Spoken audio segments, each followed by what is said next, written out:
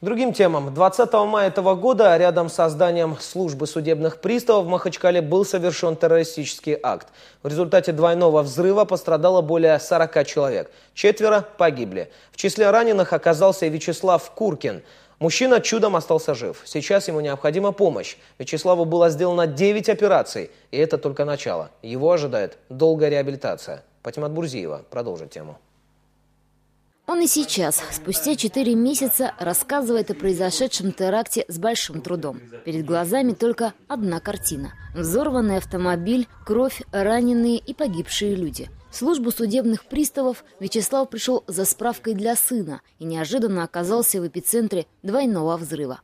Рядом люди орали всю дорогу, пока полз, кричал «помогите, спасите». В ответ тишина, конечно, была. Видел кучу раненых, Сзади лежал убитый милиционер. Ну, телефон. Целью только одной сообщить, что у меня группа крови первая. Мою фамилию, мой возраст сообщить, потому что понимал, что сознание теряю. За мной была куча крови, нога была в стороне. А затем реанимация во второй городской больнице, где Вячеславу оказали первую помощь. Среди 40 раненых он был самым тяжелым. При первой возможности на самолете МЧС мужчину отправили в Москву. В течение 15 дней столичные врачи боролись за жизнь пострадавшего. Меня оперировали одновременно три бригады. Одна бригада сшивала нерв, другая бригада укорачивала ногу, третья бригада сшила просто руку. Удаляли, подготавливали. Всего перенес я 9 операций, из них 5 ужасных больших под наркозом, по 5,5, по 4,5 часа. Он считает себя патриотом своей страны и республики. Все трагические события касались его судьбы напрямую.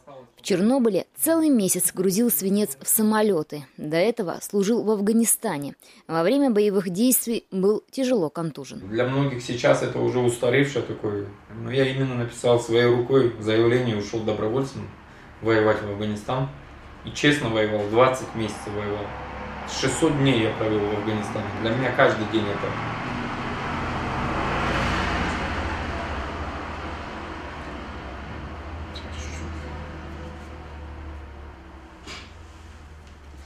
Все это время за Вячеславом ухаживали родные. Жене, известному в республике врачу-инфекционисту, пришлось оставить работу, а сыну – учебу в МГУ. Два миллиона на сложнейшую операцию выделил фонд Дмитрия Медведева. Но мужчине предстоит еще несколько хирургических вмешательств. Какую сумму это выйдет, он боится даже себе представить.